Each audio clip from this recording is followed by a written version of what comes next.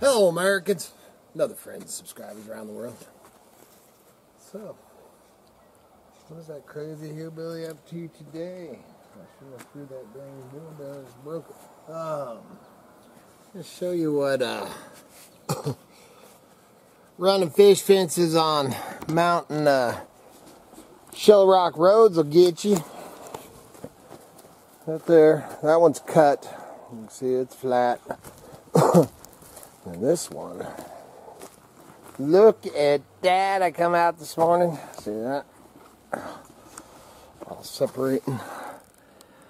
That's them dang uh, Shell Rock roads just chew it up big time. What I'm doing right now is uh, actually showed I think in past videos and stuff.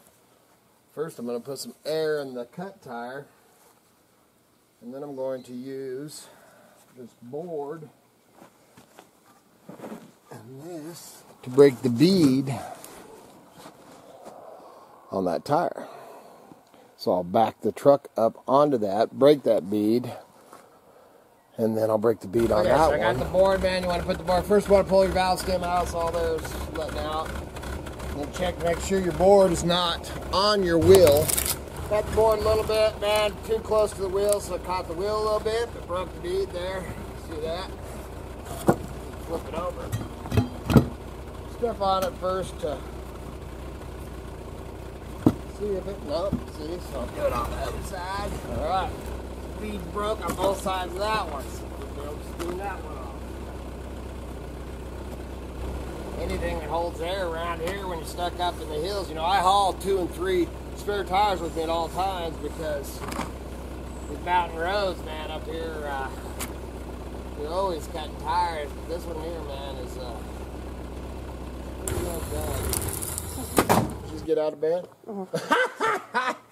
You're See that camera right there? I do. Oh, yeah. yeah, I thought Alright. you might need some uh, camera work. All right, so uh, I've got them both. Uh, beads broke. No, I haven't really went into it this one, so we'll kind of touch base on it right now. Which now I'm doing it myself. If Les Schwab would have changed my tires up there, um, not saying I wouldn't have cut a tire and been in the the predicament, but uh, um, no, I don't blame Les Schwab for you know for not well. I'm a little agitated that they didn't take care of those tires, and then called me and said they will take care of them. You know, I'm uh, 37 miles from that Les Schwab. Uh, what is that? The 80 miles round trip to go up there, and I went up there, and that gal, you know, quoted me that 35 bucks. What are you doing back Yeah, there? talking with my So hands. then, so then, you know, which I did score some junk and stuff, paid for my trip, but uh, you know, and then the guy calls me on that Sunday, or, or actually it was Monday. I guess it was this Monday, or a week ago tomorrow, and tells, "Oh, well, come on up, man. I'll do them for that. I'm apologize, you know, and all that, and that's all great and fine, but uh, um, I didn't have them tires, so I've actually been running around with some." And I, that's not Les Schwab's fault, you know. I mean, it's my job, man. But I go through so many tires, and that's what I was explaining that guy. I'm not going to pay 35 bucks a tire, and I don't care if they're new or good used ones. When I see them at a yard sale, Craigslist, eBay, anywhere, if I see a set of tires, I'm not going to go. Well, I don't want to buy them because they're new, and Les Schwab's going to want to charge me 35 bucks. So we're actually going to try one of those mechanical changers until I get myself a. I'm gonna actually, uh, I've got to track one down, but I want one just like that I used. Henderson Wilson. Man, I've mounted, um, you know, I'll say thousands, but hundreds and hundreds and hundreds of tires over the years, and I mean hundreds. Because man, I worked for over five years at Henderson Wheel. I drove truck for him. Plus, when I was in the shop, we mounted tires, man, and I'd go back there and mount pallets, pallets full of tires, tire changers eventually. And then I'm just gonna change tires for the locals around here and charge like 12 bucks. You know, man, because it's uh, all these tire shops. Oh, that's what I was gonna get into, talking about Les Schwab. You know, and I mean they're trying to make it right up there. So, man, you know, kudos to McCall Les Schwab. Well, when they uh, pulled that crap on me, just like I said, uh, Kevin was gonna go get tires up there at Les Schwab, and Katie and Tim needed to get some tires. Well, when they pulled that crap over that weekend, after I told them all that stuff, and I'm talking, they were all ready to get tires like now because we all, you know, we go through tires. So Kevin had the money and everything, was going to go to Les Schwab. So he ended up buying tires online too. Um, Katie and Tim did the same thing, bought tires. They bought six tires. Mm-hmm. Six tires. Kevin bought four tires. All those would have been bought from Les Schwab if they wouldn't have pulled that crap on us. But anyway, so they got these tires. So then, and then they take them to Les Schwab, man, after that, you know, deal up there. Kevin called up there, same gal, tells him, and it was going to be, uh, um, was it a hundred and well, it was fifty bucks, fifty bucks a tire, 50 bucks a fifty dollars a tire. So it was, Same yeah, two hundred dollars or one hundred eighty dollars. I think it was two hundred dollars for Kevin to have his mounted on his little Toyota. And this is the thing that the manager up there. So maybe um, she's wrong again because that's what he said that she didn't really know because this all came from corporate but his when he explained it to me is like on my toyota sienna van the reason that they're charging $35 amount um maybe it was a hundred i can't remember. I'm pretty sure he have to ask kevin. I don't remember. It was anywhere from uh, it was either 35 bucks a piece or 50 bucks a piece. What should quote be? 35 bucks. 35. okay so maybe it was 35 there. So that would have been 140 bucks. Anyway the reason that he told me that they are charging 35 bucks is because like on the Sienna van and these new vehicles is that they have uh, the sensors they change the valve stems and they have those sensors let you know when it's high and low that they have to check or change or whatever and that is the reason that they charge 35 bucks Kevin D has four loose wheel or loose tires um, on a 1980s Toyota little pickup No sensors. no sensors, none of that fancy crap. Um, willing, you know, I mean, if he had to buy valve stems, you don't have to change valve stems every time you do tires. So, you know, that's a crock of crap. Um, but anyway, so they quoted him high again. So, you know, Ed's on uh, vacation hunting this year. That's the manager up there at McCall. Um, so I don't know what that deal is with that. I don't know if I'll end up getting up there to get any tires because now, if everything goes smooth here, I'm just going to do my own tires here. Oh, and then I guess we'll go into that. I guess this is going to be a whole bash on Les Schwab, man. That, so uh, all the tire shops, and I'll tell you what they're doing here in a minute. The Katie and Tim have two tires that they needed mounted, loose tires. So they stop in at the Les Schwab in Weiser. Well, up here in McCall, he told me it came from corporate, $35 a tire. First, they told everybody that they weren't going to mount. They were sending people away. We won't mount other people's tires, you know, these other tires because people are buying them cheaper. And that's what the whole thing boils down to. So uh, he said it came from corporate, $35 a tire, Mountain Balance.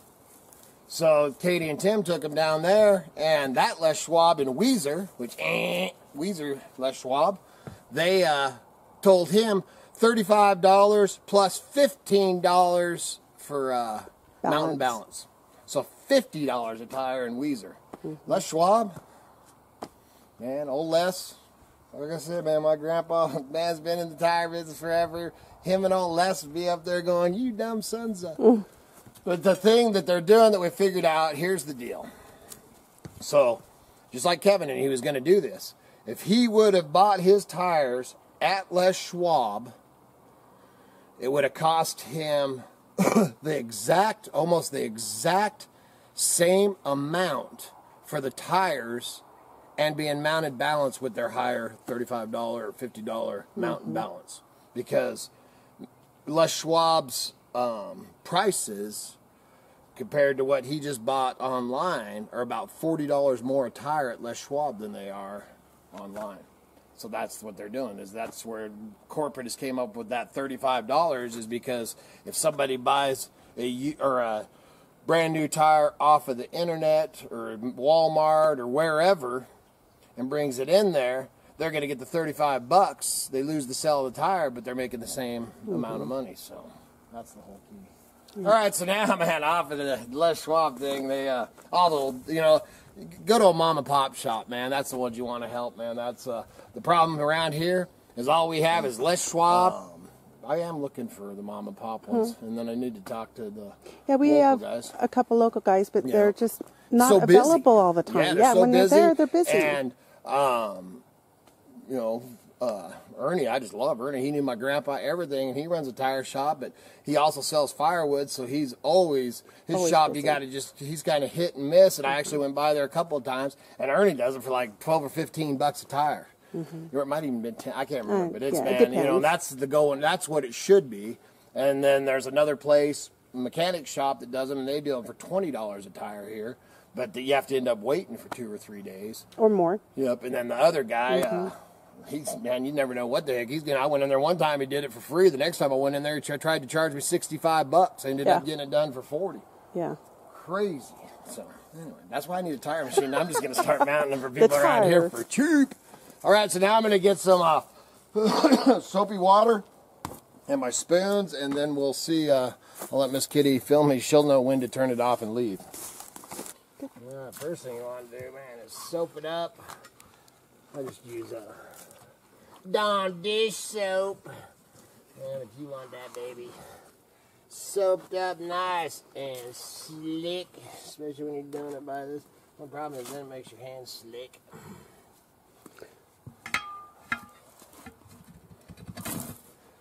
Like that.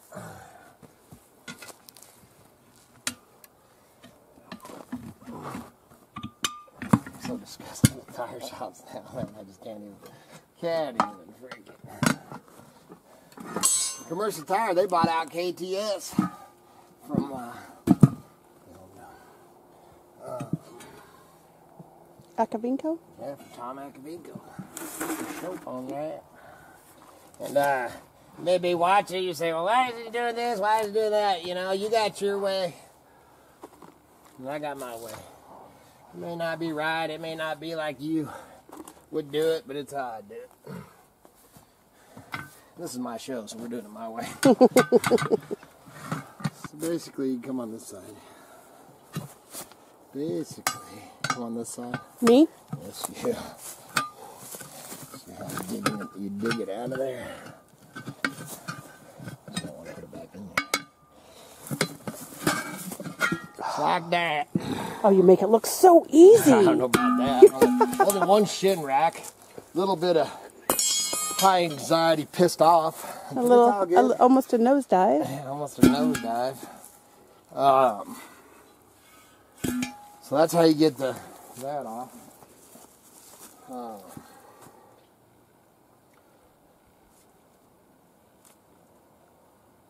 bugs, dude. I seen this bug last night. Guess this is more of a tire video. We've seen a uh, a hummingbird Moth. hawk Yes. moth. Yes. And they kill hummingbirds, we're told. Is what my daughter was telling me. And that mother, dude, it made the most horrifying sound. Me and Kevin, it flew between us, man. Me and Kevin just looked at each other like, what was that? First, I thought it was a bat. Spooky thing. All right, so I don't think we need to film this one. We'll film this one. Actually, go over here and throw them tires out there in the uh, sun. The one thing about the how I was going to put it, shitty tires they're putting out these days, is the uh, sidewalls are really thin, so it actually makes it easy for using spoons or that mechanical thing. Um, the plan was to get bias on the uh, green bean bias ply tires because a bias ply tire, the way that it's made, um, the sidewalls are the same thickness as the tread on a bias ply and they're a, but it's a nylon webbing they use, not a you know steel belted radial. But back in the day, they were all bias ply. Which makes the um, ride. Well, yeah, it's a rougher ride, Yes. but when you're cutting out sidewalls, Yes. um, I have three over there that cut right the sidewall, man, brand almost new tires, Mm-hmm. And them dang shell rock roads. Um, Mm-hmm. You know, you cut the heck out of the big sidewalls. So that that's where we were talking about going bias ply, Mm-hmm. and then I came across these two that I got. Um, and they're radials and they're six ply radials, so I went ahead and went with them. But anyway, as far as mounting like these, but then to mount the ones the 16 inch or the bias ply by hand, we'll see how that machine from Harbor Freight works. But doing it this way, man, is uh, it'd be a a tough guy. It can be done, man. I watched my stepdad was a he worked for KTS for years. Oh, like I said, man, I grew up around tires, man. I know all this and all this mumbo jumbo, man, that these guys throw at me. I know it all, or I know it all. I know it all, man. or I guess I should say I know the old way that the mm-hmm. tire shops and service stations worked. I grew up around it, but my stepdad Tom was a mobile home service guy. He's the one that taught me how to use the spoons. He was uh, a mobile home service. I guy? mean, well, I guess that was that other guy. yeah. I'm now a tire. He was a mobile tire repair man for KTS Tire in Boise on Fairview, which is now a commercial tire. But he ran around and had the truck, you know, with the big compressor and everything. He's the one that told taught me how to use the spoons. And man, he'd go out and do the big truck tires and stuff. With the spoons. Yeah, but they yeah, their spoons are a lot better. Yeah. Mine are old beat up things that I found at flea markets. Yeah. I'm gonna get these two tires out of here. I'm gonna throw them out here in the sun to warm them up. And obviously, we'll be cutting some of the. Uh, um, obviously, we'll be cutting some of the uh, footage out because we still are down a computer right now. Which Leaper, I need to show you the thing. He gave me all his son's information and stuff. I think we already had it, but Okay. if we end up needing to take it to him. But uh, we need to get that part ordered. Mm-hmm. But uh, where was I going with that? Cutting. Oh, film because of the out? editor and stuff, man. The new editor that I got that I haven't even got to play with, but I'm paying for, which we need to see. You could go in and see if you can switch that over the laptop. You can fast forward through, so I'll probably cut out a bunch of this. But I don't need you to film me on. Maybe this one will go smooth, but I think I can cut through that that one. So then I'll holler when I'm going to put Okay. Cut. So I was going to show you. Miss Kitty had said I didn't really show the spoons, tire tools. I've seen you pry against that. And a little hook. You know, like this, with this little lip. You can go like this.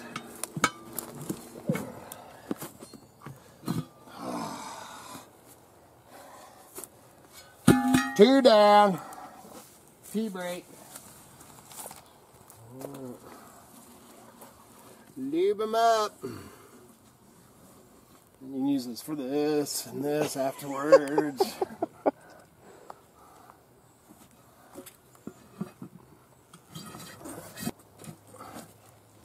Whoa, dude. Get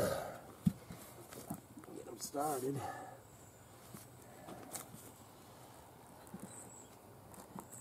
Gently like that.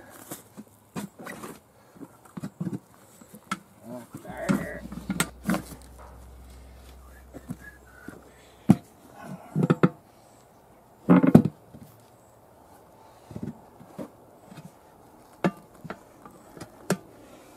I haven't done it for a while, so I kind of forget which uh, which end and bend goes for what, you know.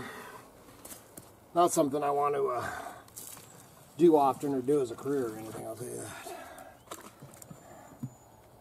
Necessity. It's kind of like working on your own rigs. When they want to charge you 35 to 50 bucks a tire. And you're just a poor, poor little hillbilly kid. Just like that.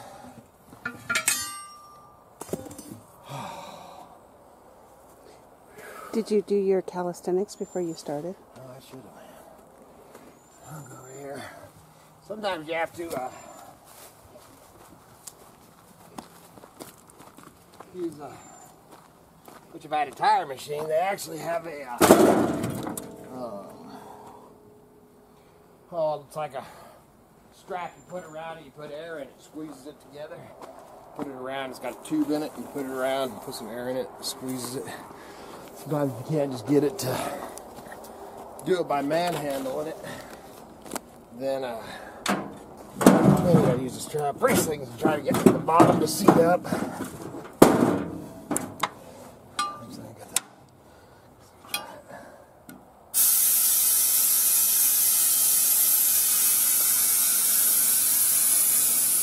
Take it air.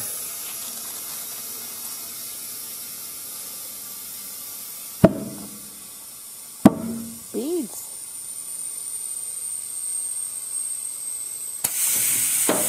That's one thing that uh, all the big tire shops ought to realize that, uh,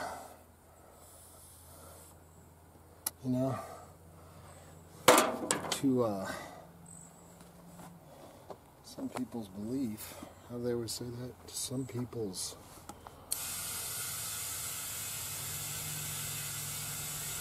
popular belief, some humans still can do stuff for themselves. Yeah.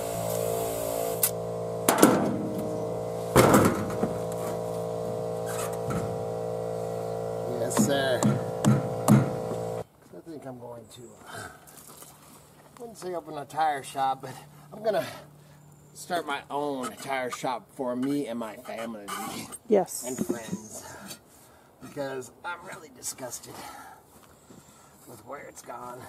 First, the service stations go away, and you know that was always the thing too, man. I'd walk in and smell the, you know, good memories, man. Go in and smell the tire shops. Remind me of my grandpa. Now I go in and smells like a bunch of money hungry bastards. Oh, there went the wheel weight. Oh no, man! I'm gonna have to pay less fifteen dollars. Put me another weight on.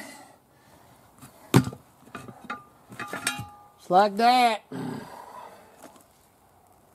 Like I say, support your local small business mom and pop tire shops and say no to any other big tire places you have around. We need to get the service that we used to have back. Oh, please remember to like, subscribe, and share. Helps get the lights on, the home fires burning. Check out the links below. Got a sell on, maybe a sell on eBay, but lots of tons of stuff, man. I've been list, list, list. Miss Kitty's been taking pictures. Um, maybe the next video I'll show some more of the. Been just scoring just all kinds of stuff. So, other than that, good Lord willing, and the creeks don't rise. We will be back again tomorrow. See ya.